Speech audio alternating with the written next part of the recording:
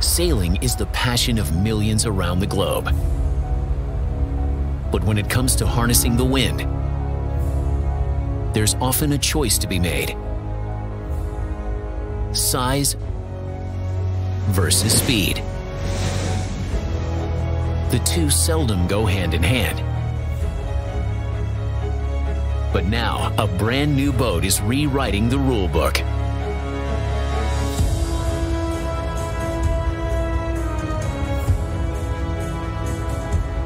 Black Pearl, the world's largest sailing yacht. Welcome to the Black Pearl. 106 metres, 7.2 metres of draft, 14 and a half metres of beam, sails at 22 knots. We expect it to do 30 knots. Without a doubt, that is unique.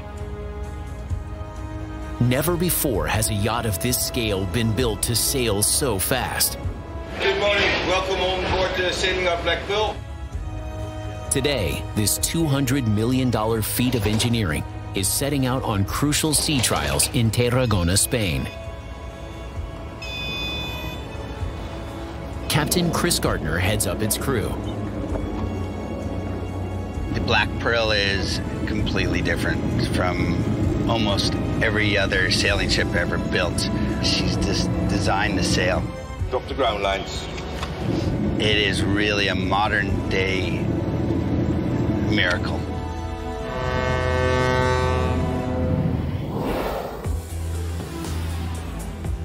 The world's largest sailing yacht. Black Pearl is the length of 10 city buses.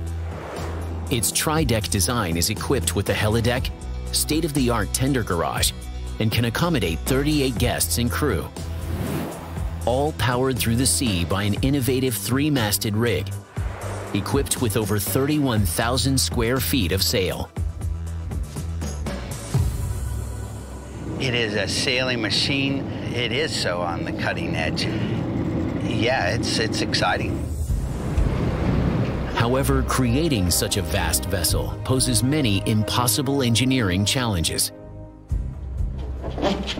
Looking good. How do you ensure the largest hull of its kind will glide through the water Port wing closed. 221. and stand up to the unpredictable ocean? Every time we leave the dock, it feels great. But perhaps the biggest problem is making this 328 foot long, nearly 3,300 ton super yacht a world class racer. And we're only 10 degrees starboard. And it turns that quick. We want to sail fast. Sure, there's a lot of boats out there that are real flyers, but they're a quarter of the size. To get up to speed, this marine giant requires a staggering 31,215 square feet of sail area. But how do you rig and control such a vast amount of canvas? Could a marvel from the past help with this seemingly impossible problem?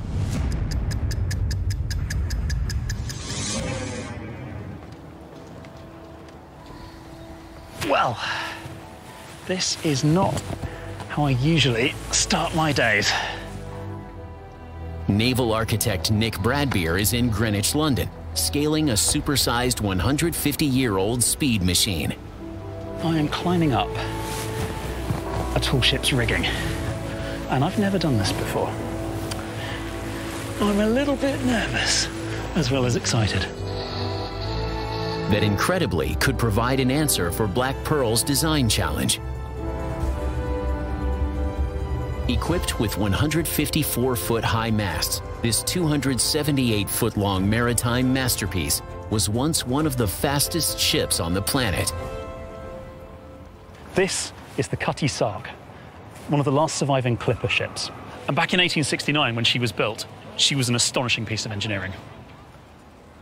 This amazing vessel was the result of a nation's quest for a decent cup of tea, a thirst that started 200 years before it was built. Tea was imported from China, from India, and it was all imported by the East India Company. They were the only people allowed to bring tea into England. With no competition, their ships known as East Indiamen weren't built for speed. Their slow, bulky boats now had a major problem. Wealthy Londoners were willing to pay a premium for that first batch of tea back from every harvest. So an enterprising group of merchants and sailors realised that they could make a lot of money, and that meant they would need a new kind of ship, something that was much faster than anything that had gone before. Scottish shipping entrepreneur John Jock Willis and engineer Hercules Linton came up with a trailblazing solution. The Cutty Sark was a legendary British tea clipper, named because of her ability to clip off the miles at breakneck speed. The Cutty Sark was a very fast ship. She did speeds up to 17 knots, which is about twice as fast as the, the ships that came before her, and actually is about the same speed as a lot of merchant ships do today. Her secret, a towering square-rigged three-mast design. A sailing powerhouse that could inspire the Black Pearls team. One of the things that really sets a clipper apart, because she has to go fast, is the sheer quantity of sail that she's designed to carry. Looking up, we've got 11 miles of rigging, 32 sails, nearly 3,000 square metres of canvas, which is just an unbelievable amount. I can't even quite fit them all in my field of vision. She's just a machine for carrying as much canvas as possible, because it's all about speed. The more sail she carries, the faster she can go. The Cutty Sark and this new class of ship slashed 20 weeks off a round trip to China. Its awesome rig making the most of whatever wind was available. If you're in light winds, you want to cram on as much sail as you can. If you're in, in a heavy wind, then there's only so much sail you dare pack on. But the clipper captains were driven by speed, so even in, in high winds, they keep packing it on to keep that speed up. The Cutty Sark spent the 1870s speeding tea across the world's oceans. By the 1880s, she was working the Australian wool trade routes, holding her own against a new breed of ship. Even in the age of steam, she was still far outstripping the speed of those steamships over that long run. She's a piece of history, and she's an incredible piece of engineering.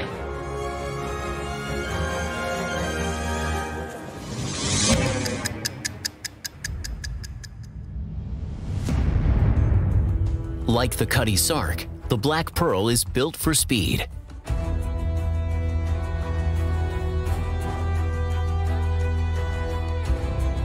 In 2016, its super sleek hull is delivered. But this engineering marvel only comes to life when its epic rig is installed.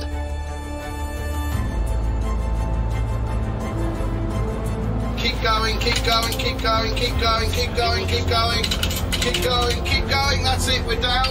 Get the. Inspired by the historic Clipper, a trio of masts resembles the Cutty Sark's iconic design, but their 216-foot height would tower above it. Engineering on this scale produces something special.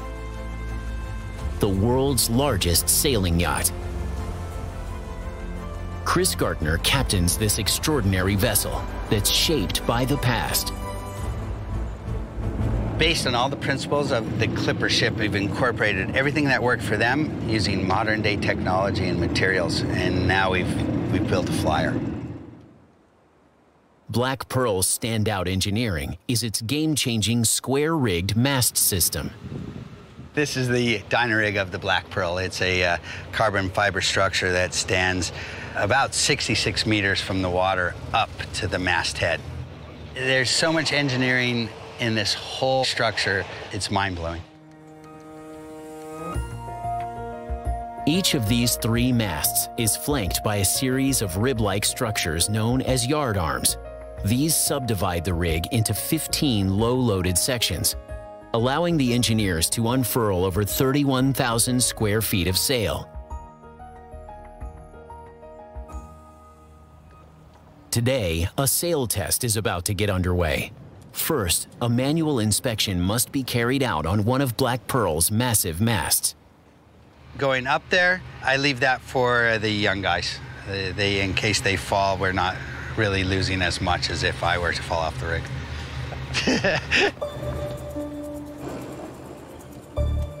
the vertigo-inducing job falls to rigmaster Declan Clamp. It's basically getting hoisted up by a uh, winch and stop. He's on truss number six, and he will begin his inspection from up there. View's great. Always a good view from 60 meters up. We take a lot of safeguards in order to prevent any mishaps. Everything's okay up here. Cool. And you get a real scale for the boat up here. You realize how big it all is. Now that the checks are complete, Chris can automatically bring this engineering marvel to life. And I'm going to set the sail. Right now, the four outhaul winches are pulling on the four corners of the sail and dragging the sail out.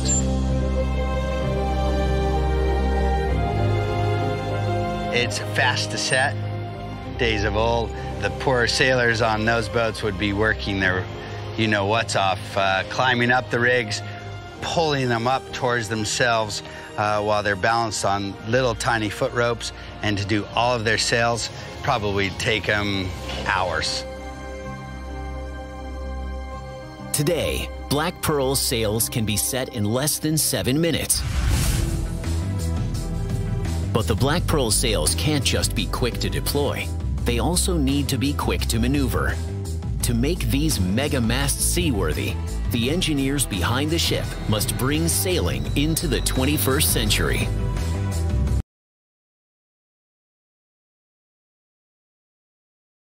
Revolutionary racing yacht the Black Pearl can deploy its massive sails in a record seven minutes flat. But how could engineers keep their 31,215 square feet maneuverable enough to preserve the smooth ride this luxury ship demands? We simply rotate the rigs, the entire mast rotates, and that in turn trims or eases for tuning the sails. It just facilitates something that's much easier to do, much safer to do on a big ship. The innovative engineering that makes this possible is concealed below deck. Yeah, Declan, can you please rotate the foremast 180? Yacht manager Derek Monroe is putting it through its paces. So we're uh, now in the foremast technical space, and in here we have the foremast tube that comes down. There are four of these mast rotation units, which turn the the mast around as when we need it. And in the middle, as the mast rotates, we need to manage the cables so that they don't get tangled up. And that's what all this is up here, the cable management system. This phenomenal technology rotates 35 tons of carbon fiber mast. Its immense capacity for canvas propels this 3,300 ton super yacht to a jaw-dropping 20 knots. It's revolutionary as far as ease, safety, and efficiency. When we have a full set of sails up, you can actually see the masts moving. It's like a living animal. You can have a maximum of about three to four meters flex at the masthead from zero. These rigs are living and breathing. They're just moving all over the place. The Dynarig is one of the most incredible advances in sailing. In fact, almost everything about the Black Pearl is wildly advanced. It's the largest sailing yacht in the world. A brand new engineering colossus currently taking marine engineering into uncharted territory. At almost 350 feet long and weighing in at over 3,300 tons, this mammoth ship is equipped with two diesel engines. But its crowning glory is its trio of nearly 200 foot high rotating rigs, capable of propelling Black Pearl to over 20 knots. It's captained by Chris Gardner. The horn on the Black Pearl, as impressive as the rest of the boat. Black Pearl's unique supersized design is built to race and break records. For her to fulfill that destiny, every part needs to be in ship shape. Chief Engineer Richard Tatlow must ensure her hull is in perfect shape. When we're racing, we're under sail, and we want to ensure that everything underneath the hull is as streamlined as possible to maximize our speed, because it's all about winning the race. Hi, Alberto. How you going? Good. So currently the guys are uh, kitting up with their dive equipment where they're going to go down underneath the hull and they're going to clean our propellers. They're also going to inspect the rest of the hull to make sure we haven't got any um, growth that uh, can cause us drag.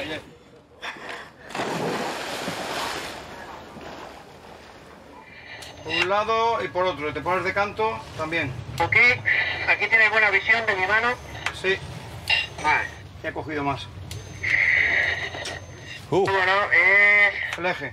un fleje. this looks like a band, is it? A It's band? a band. Yeah. Can you see any gone inside? Vale, me dirijo a la otra hélice. Basically, what we're seeing around the uh, starboard propeller, it looked like a rope.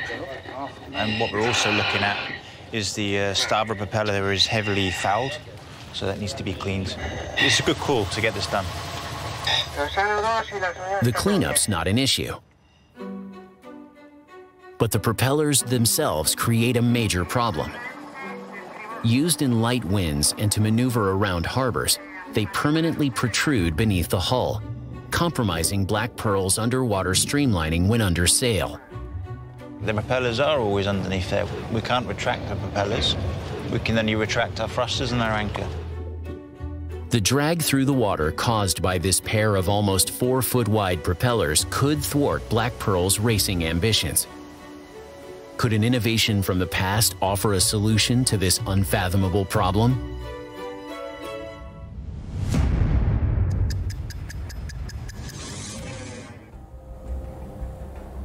The surprising answer for Black Pearl can be found at a British airfield engineer Dan Dickrell is discovering a historic masterpiece currently being brought back to its former glory. Look at this. This is the C 47, one of the most iconic legendary aircraft of the Second World War. A plane famous for dropping paratroopers over occupied France in D Day. It's a really beautiful airplane.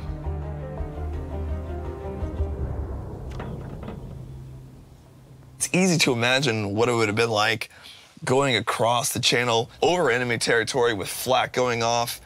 In the event that this airplane would lose an engine, the only way to get back safely is to maximize the ability of the remaining engine to get you to the ground safely. But in an emergency, the disabled engine's propellers could create a major problem. Sitting in the airflow, they caused drag, which burned precious fuel.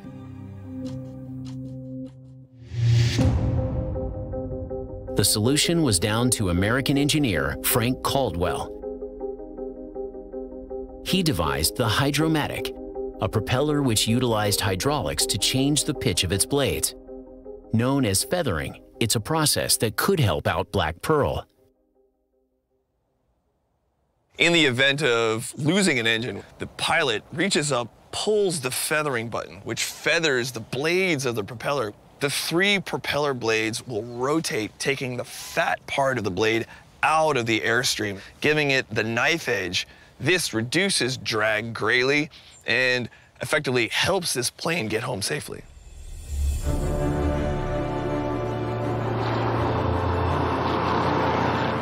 Today, Dan is putting his faith in Caldwell's brilliant invention with a daredevil experiment on board a modern twin engine plane. So currently we're about 3,500 feet going about 115 knots, and we're gonna simulate an engine failure. When I give Captain Rob the signal, he's gonna reach down and cut the power to that engine right there, and we're gonna see what happens. I can't believe we're gonna do this. All right, let's cut it.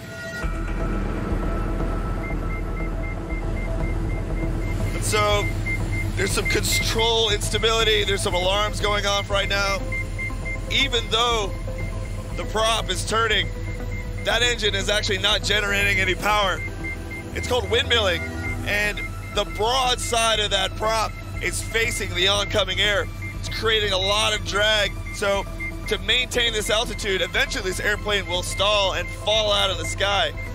This is not a great situation at all to be in. Now, yeah, so we got a stall warning. Luckily, this plane is equipped with a Caldwell-inspired variable pitch propeller. All right, the solution to this problem is we're gonna feather the engine, so go ahead and feather, please. All right, so instantly there was an effect on the plane. And while it looks scary, the prop's not turning anymore, we feathered the blades. Now the knife edge is into the wind.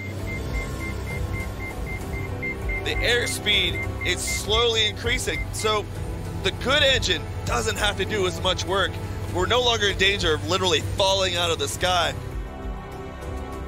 Since its launch, the Hydromatic has transformed air safety. An engineering breakthrough that has helped shape the history of flight.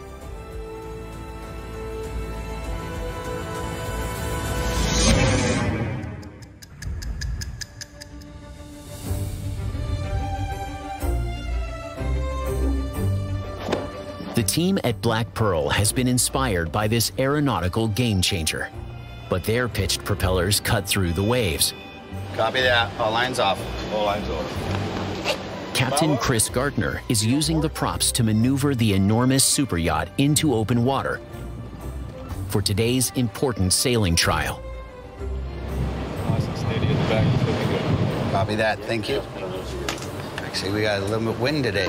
Might be good sailing. Below deck, Chief Engineer Richard Tatlow can monitor Black Pearl's cutting-edge propeller system from its nerve center, engine control. As you can see under the water here, our propeller is obviously rotating, providing propulsion for the vessel. Currently, we have a uh, pitch of around about uh, 70, 70%. So we have, there's the shaft line and there's the blades, and we have about that much pitch on. And things are looking pretty good. As the Black Pearl goes through her extraordinary metamorphosis and her spectacular sailing apparatus emerges, will the propellers pitch as necessary, or will they be a huge drag as the ship aims to set records?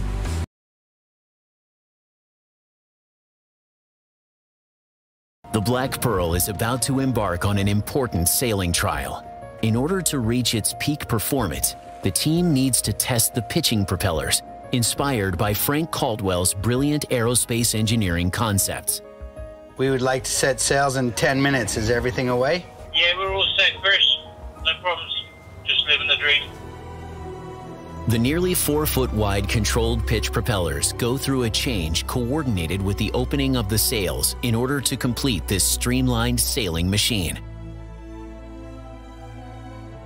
From a 70% pitched motoring position, the blades are electronically feathered to what's known as zero pitch. So now you can see the props are no longer turning. The blades are in a feathered position in their least resistant position. So now we're sailing and we're dragging them through the water and they are not slowing us down any. The water flows so efficiently over the blades, Black Pearl's sailing speed is increased by two knots. However, the propeller's ingenious engineering doesn't end there. On this giant boat, which consumes the same electricity as 25 family homes, the propeller's pitch can be altered to generate power when under sail. We can turn them into a form of a turbine. Because we can control the pitch, we can allow them to rotate and as they rotate, they're coupled together on the main shaft line into an electric motor. We can then generate electricity. And the Black Pearl needs all the electricity she can get because she's loaded to the gills with cutting-edge technology. The main hub is the ship's bridge, where Captain Chris Gardner has some of this mind-blowing equipment at his disposal. I think the sailing station is really what makes this boat special. Nothing in the world has this. In order to sail the boat, it requires one person. We can control all masts and turn the rigs all at once or just an individual one. This page here is how we control which sails we would like to set at that particular moment. So you just simply select it and we'll be able to deploy all the sail area in less than seven minutes. This automated rig is one of a kind, but its mammoth proportions create a big problem for its engineers. The huge masts and Black Pearl's sheer scale places the body of the ship under immense pressure. As far as the Black Pearl with the hull, with its length overall, all the force is exerted onto the boat itself by the rigs, the sea. There is a lot of twisting and a lot of movement. The engineers need a lightweight material to competitively race, but for a boat this size, if it's not exceptionally strong, the entire hull could fail. If it does go wrong, not only could it be catastrophic for the boat, but it could be tragic for someone's life. Can the pioneers of the past help out with this seemingly impossible problem?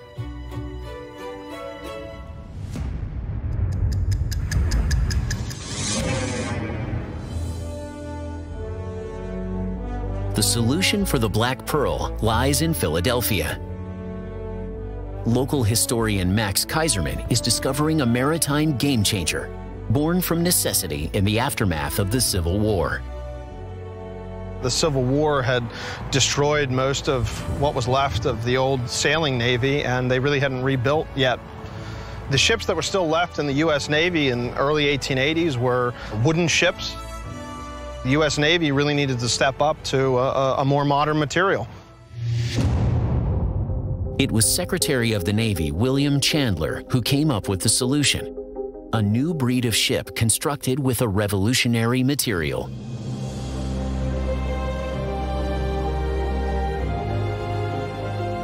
So what we're standing next to is the USS Olympia. She's the oldest steel warship left in the world. The shift from wood to iron to steel was monumental. Iron was brittle, wood was incredibly costly and, and weak compared to steel. Made by chemically modifying iron, steel is incredibly strong and light. Much of Olympia's hull is under an inch thick. The perfect lightweight solution for her high-speed seaborne operations. The Olympia represents actually an entirely new type of Navy and a hull that was able to withstand hurricanes, uh, high seas, and armor-piercing shells from other ships.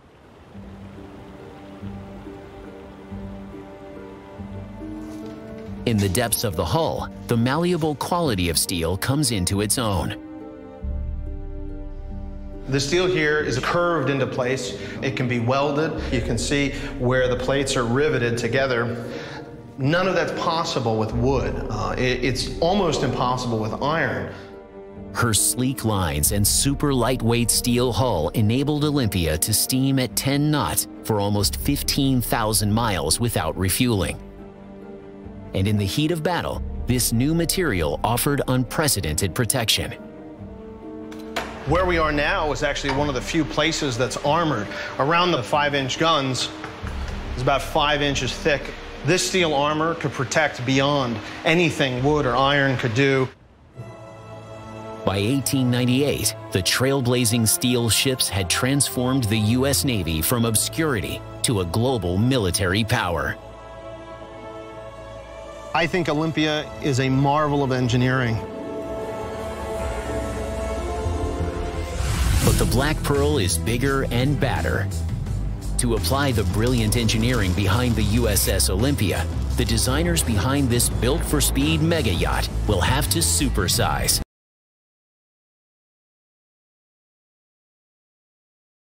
Thanks to American visionary William Chandler, steel has enabled Black Pearl's engineers to build the largest sailing yacht in the world. With 21st century technology at their disposal, this cutting-edge giant is longer than the USS Olympia, but at 3,300 tons, it's virtually half the historic ship's weight. And it's still remarkably strong. As far as the material used in the Black Pearl, steel is definitely the best choice. You know, there's the safety factors, the strength factors, and it, it certainly resists so much, you know, from corrosion. It's not so affected by the elements of the salt water. The 790-ton hull carries over 1,400 tons of outfitting weight and 330 tons of ballast. Its unique shape took 14 months to construct in a Rotterdam shipyard in the Netherlands. The flexible quality of steel as thin as 8 millimeters allowed engineers to form a streamlined hull built for speed a lightweight aluminum superstructure saves vital weight, delivering the impossible. a 350 foot long super yacht designed to break records. But perhaps the standout engineering is Black Pearl's one of a kind bow. The special thing about this is, as you can see, it doesn't look like any other bow you'll see on any other motorboat or sailing boat. The shape of the bow at the lower end um, makes her very efficient through the waves. She, instead of riding through them, she tends to ride over them, but it's fine enough at the same time that she'll slice through whatever you get. But it just means she's much faster.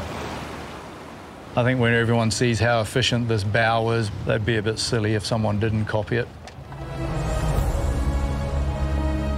Black Pearl's design is so advanced, its team is targeting the 30 knot barrier, a first for a sailing yacht of this size.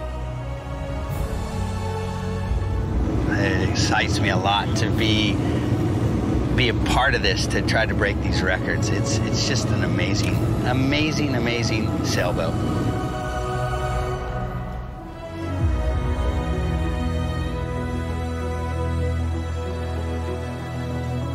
But a new ambitious transatlantic goal presents more challenges for the world's largest sailing yacht.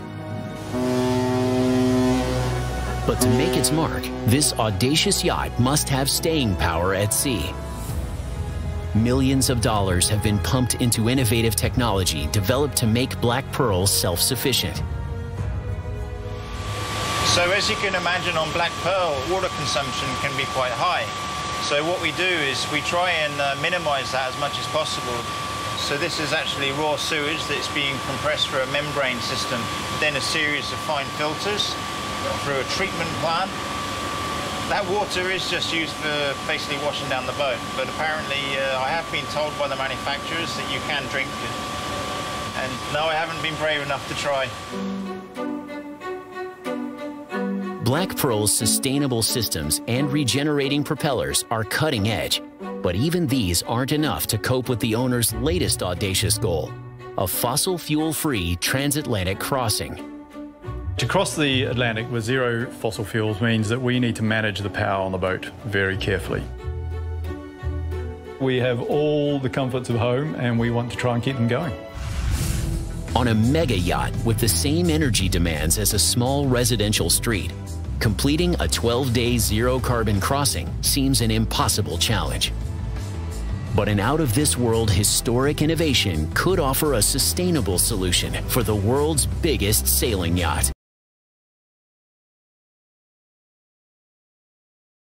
To make it across the Atlantic without a carbon footprint, engineers behind the Black Pearl sailing yacht are taking inspiration from an unlikely source early satellites.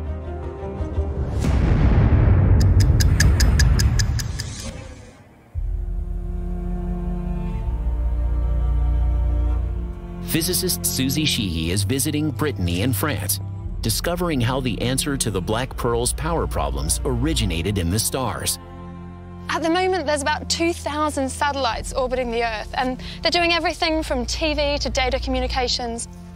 But of course, they weren't always up there. This radome is at the Pleumeur-Bodou Telecom Centre, and this has an incredible history in the development of satellite telecommunications. It's, it's absolutely incredible, and it's enormous. During the 1950s, a new era of space exploration unfolded. And with it came the potential to transform global communications. Early satellite experiments successfully relayed signals to and from space. It wasn't long before the global stage was beckoning. Engineers in the US came up with an ambitious new project. They wanted to send live TV images from the US to Europe and beyond. So this is what they came up with. This is Telstar, which is a global communication satellite. It can take live images from the US up into space and back down to Europe, transmitting them across the Earth. But achieving this meant overcoming a massive problem. Like Black Pearl sailing across the vast oceans, to be viable, Telstar had to be totally self-sufficient in the isolated vacuum of space. Early satellites were powered by batteries, and in orbit, they'd only last a week or sometimes days before the battery would go flat. So, to keep the satellites up there for longer, scientists had to come up with a new solution. In 1954, Bell Lab engineers Calvin Fuller, Gerald Pearson, and Daryl Chapin were developing silicon transistors when they made an unexpected discovery. One of their transistors began producing electricity when exposed to light. Silicon had the potential to produce the first practical form of solar power. A section between differentially charged silicon layers acts as a junction, allowing electrons to migrate, creating an electric field, a process stimulated by light. And it's the flow of those electrons that provides an electric current, which allows us to do work, such as powering a calculator.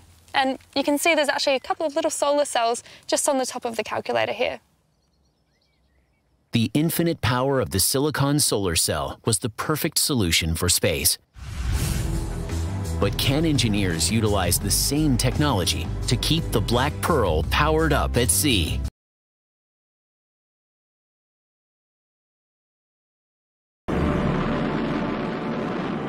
In 1962, the Telstar satellite was launched, equipped with a game-changing innovation, silicon solar cells. They actually coated Telstar with 3,600 solar cells mounted on platinum and coated with sapphire to protect them from the high levels of radiation in space. And that allowed it to produce about 14 watts of power, enough for it to relay about 600 telephone calls and a live TV feed.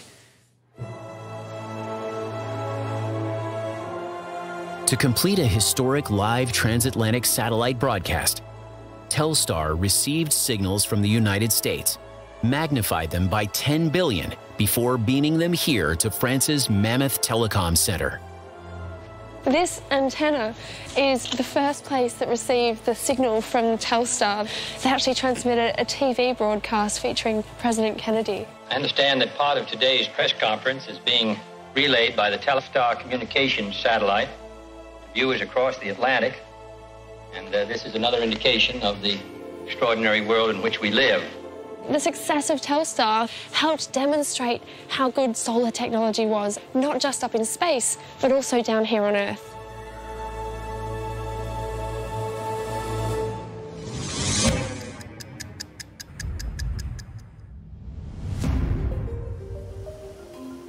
From the vacuum of space to the vast seas, Black Pearl's engineers have been inspired to develop their own solar technology. Their ambitious goal to sail the world's largest yacht across the Atlantic without burning any fossil fuel. One of the solutions we've been looking at for the last few years is to put solar cells on the sails. Firstly, we need to consider the weight, we need to consider the flexibility, and we need to consider the cable connections. So that takes us to uh, technology which is called CIGS, which is uh, about the thickness of a piece of paper. At just half a millimeter thick, the engineers plan to bond this super lightweight cutting edge system to Black Pearl's sails without compromising their performance. The solar cells, that's very, very flexible. We can easily get the rotation on the sail. We'll probably end up, if we're lucky, at 50% of that with solar cells. That's about 15,000 square feet of solar technology, mounted on Black Pearl's 15 sails, set to deliver around 22% efficiency through a network of cabling to the ship's 384 batteries. We should get enough power to run the vessel with all the crew on board and all systems running, which means we should get around about 160 to 170 kilowatt hours. It's enough to provide us with enough power to run the boat without the requirement for fossil fuels. When it happens, it will be an amazing piece of engineering and it will be uh, It'll be phenomenal to see it, and it's just one more step that we're taking in the future to making the boat a little bit greener.